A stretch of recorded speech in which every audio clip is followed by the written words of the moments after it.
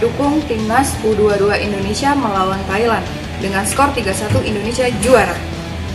Saya dukung timnas Indonesia dengan skor 4-1 melawan Thailand. Buat kakak Marius dan kawan-kawan, semangat ya!